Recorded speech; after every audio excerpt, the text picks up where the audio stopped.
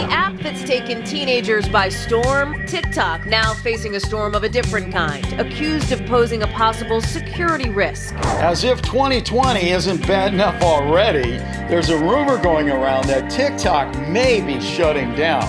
Can this possibly be true? Or is this some kind of BFF, as in big fat fake?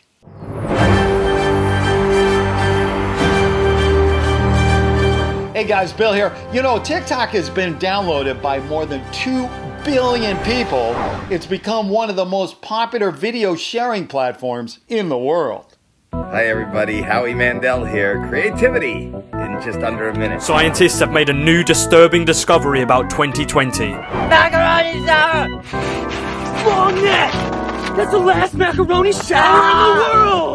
But just recently, it was banned by India, and now the United States is thinking about doing the same thing. Listen to what the U.S. Secretary of State had to say just the other day. Where we believe that U.S. citizens' data that they have on their phones or in their system or in their healthcare records we want to make sure that the Chinese Communist Party doesn't have a way to easily access that. And at the heart of the matter are two things. Number one is the growing awareness that TikTok is actually owned by a Chinese company and it might have spyware on it. I made a video about this very subject not too long ago. When China has data on 110 million Americans, who knows what they do with it? The second issue is growing tensions between China and the United States on a variety of issues, which I won't go into here, but let's just say there's a lot of them. Now, for its part, TikTok has been claiming all along it does not share user information with the Chinese government.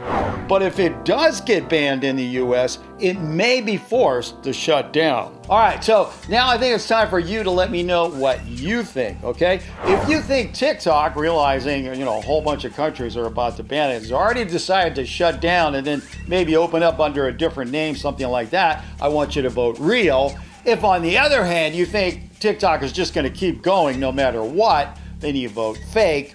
And as usual, if you don't think I have a smoking gun answer on this one, then you vote unknown, okay? Now, we used to vote up here, but YouTube took that away, unfortunately. So if you want to vote and see what other people are voting, then what you do is you go down to the description box, click the link over to my community page, uh, make your vote there, then just hit the back button and you'll come back to the video right where you left it off and you can see whether you're right or not. If you don't want to go through all that, it's okay to leave your answer down in the comment section or do what this guy does and just shout it out, okay?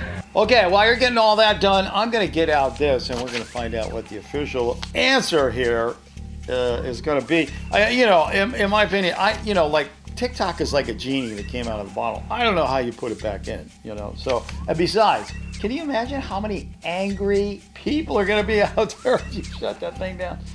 Oh my God. All right, let's see what the official answer says here. And is there hope, ladies and gentlemen? Um, well, I guess that depends on your point of view. You might hope that it's going to close down, or you might hope that it's going to stay open. But the official answer is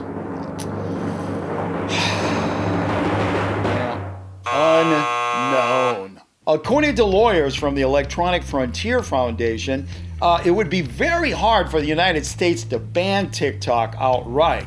But what may shut it down, however, is people turning away from the app on their own.